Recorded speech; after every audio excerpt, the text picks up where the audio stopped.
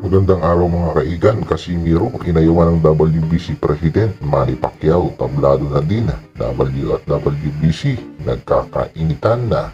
Isang like naman dyan mga kaigan na.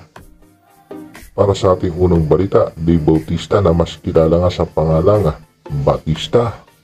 Magkaroon niya ng sama ng loob at galit sa isa sa kanyang malalapit na kaibigan na patungkol nga yan kay pambansang kamao Manny Pacquiao.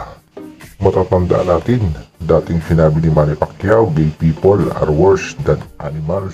At yan nga ay kinatampo nitong si Batista mga kaigan na hindi niya nagustuhan ang paratang ni Pacquiao sa mga LGBT dahil ang kanyang nanay ay isang lesbian na. Sa isang panayam nga ay napaimpa itong si Batista. At kagad niya na rin pinatanggal ang kanyang tatong Pacquiao sa kanyang kamay. Kagad namang humingi ng pasensya si Manny Pacquiao sa pangyayari yan pero huli ng lahat dahil tablado na siya dito kay Batista. Samantala, WBC, inaayawan niya ang ating pambatong si Cuadro Alas.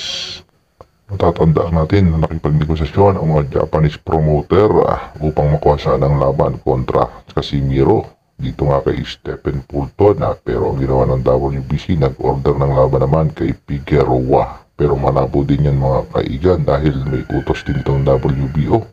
Ginawa ngang super champion itong si Inoue para makuha ang laban kontra Stephen Fulton na. Next target ng mga Japanese ay ang laban naman kontra Luis Pantera Neri pero ganoon pa rin ang ginawa ng WBC nag-order din ng laban na WBO at WBC nagkakainitan na nga. Kaninong utos kaya ang masusunod? Ang utos ba ng WBO na Stephen Fulton na kontra Inoue o ang utos ng WBC samantala Cuadro Alas General Casimiro Pagkatapos ng bumirma ng kontrata, ibalik ensayo na ang ating pangbato nga si Angas ng Pinas mga kaigan na.